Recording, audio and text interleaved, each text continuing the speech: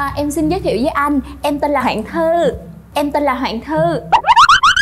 Sau này á khi mà mình cưới nhau về rồi á thì rửa chén nấu cơm giặt đồ lau nhà quét nhà thì anh phải làm hết. Anh không có được để cho em làm. Em làm á là em sẽ buồn em sẽ giận em sẽ ly dị với anh.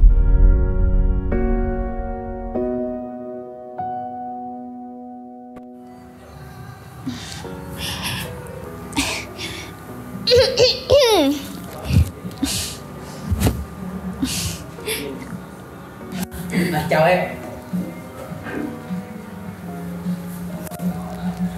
Mời em ngồi. Dạ em chào anh em đẹp quá. Dạ ai cũng nói em đẹp hết trơn á. Ờ, nếu em không ngại à, anh xin phép ờ, được giới thiệu trước. Dạ. À, à, anh tên là anh hùng. À, chữ chữ hùng trong chữ anh hùng. À. còn à, à, chữ anh trong anh cả. À, nói chung là anh anh hùng. Dạ. À, với lại là ờ, anh làm nghề ừm, kiến trúc sư. À, anh kiếm tiền bằng nét vẽ Ừm, lương của anh thì ờ, tính bằng uh, trăm triệu đô. Dạ. Lần đầu gặp em anh đã à, bị siêu lòng trước à, vẻ đẹp và um, gia thế của em rồi. Anh nghĩ là với à, thu nhập của anh đó thì chắc chắn là sẽ làm à, hài lòng được một tiểu thư như em. Dạ. À, à mời em uống nước. Ừm. Ừm. à, à, à. Ừm, Dạ anh ơi, à, em xin giới thiệu với anh Em tên là Hoàng Thư Em tên là Hoàng Thư. À, Không không không. Ý á, là cha với mẹ của em á, là thích cái nhân vật Hoàng Thư ở trong truyện Kiều á Nên là đặt tên em vậy thôi. À, Nhưng mà thật ra thì cái nết của em á, nó cũng giống như Hoàng Thư vậy đó. Nên là sau này mà mình có yêu đương nhau á, thì anh cũng à, tém tém lại Để anh đừng có làm bộc phát cái nết của em ra nha. À, ờ, ờm, ừm, anh sẽ nguyện làm à, chàng khờ thủy chung Dạ, anh ơi, trước khi mà bước vô cái mối quan hệ yêu đương nhanh nhất của tụi mình á Thì em xin nói một vài cái điều mà em à, mong muốn nha anh. Em nói đi.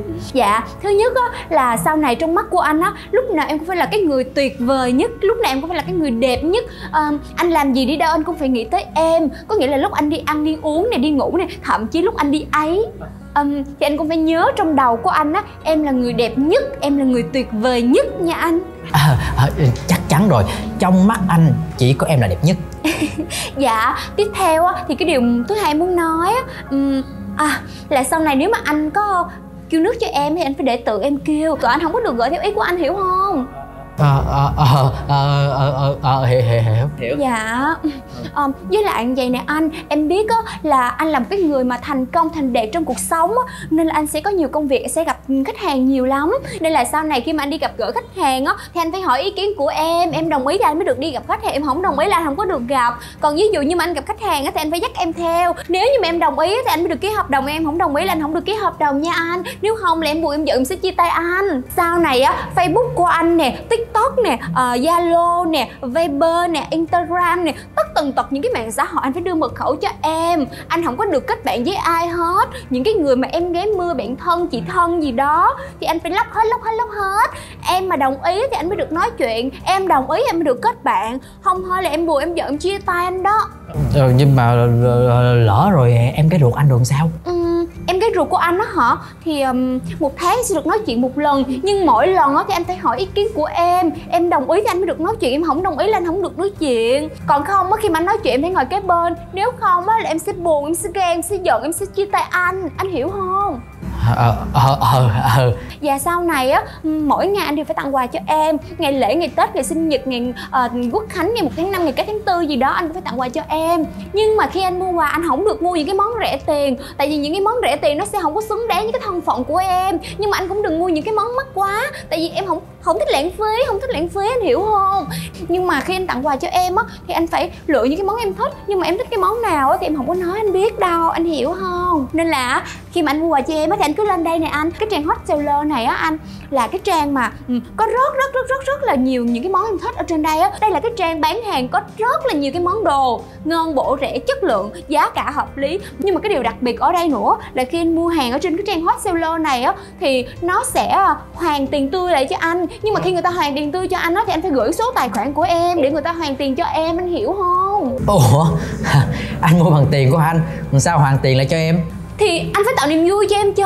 Khi mình yêu nha anh phải tạo niềm vui cho em thì em mới biết là anh đang thương em. Anh hiểu không? Sau này anh đi làm về á tài khoản ngân hàng nè thẻ atm nè tiền của anh nè tất cả mọi thứ anh phải đưa cho em. Bởi vì tiền của anh là tiền của em mà tiền của em là tiền của em. Ờ. sau này tất tần tật những cái việc của anh á thì anh phải kể cho em anh phải hỏi ý kiến của em anh hiểu không? Anh. À, à, em nói chuyện với anh mà anh nhìn đến đâu vậy ừ à, à, anh xin lỗi.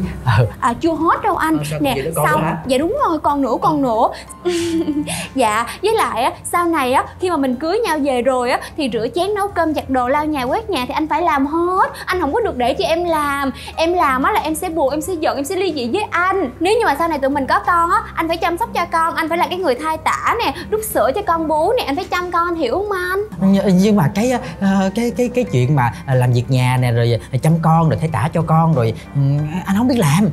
Không sao anh chỉ cần đi làm về đưa tiền cho em là được rồi. Còn những cái việc đó em sẽ thuê giúp việc à, giúp việc sẽ làm nhưng mà anh đi làm về tiền anh phải đưa cho em nhưng anh phải về nhà liền về nhà liền. Không á là em ở nhà một mình em cô đơn em buồn em tủi thân em sẽ ly dị anh đó. Cưới em về rồi á cái gì trong nhà anh cũng phải nghe theo lời của em hết trơn á. Em nhắn tin là một giây phải trả lời em gọi điện là tiếng chuông đầu tiên anh phải bắt máy. Nếu không là em buồn em giận em sẽ ly dị với anh. Ờ ờ, ờ, anh, anh anh có điện thoại xíu cho anh xin lỗi nha. À dạ. À, dạ, vậy hả? À, chết rồi. Rồi, rồi, rồi con, con về liền con về liền con về liền. Ờ, ờ, ừ, em ơi ờ, mẹ anh bị xỉu. Giờ anh phải về anh chở mẹ anh đi bơi. Ủa lộn. À, anh về chở mẹ anh đi khám bệnh. Ờ vậy nha anh về nha. Ủa ủa ủa ủa. Anh.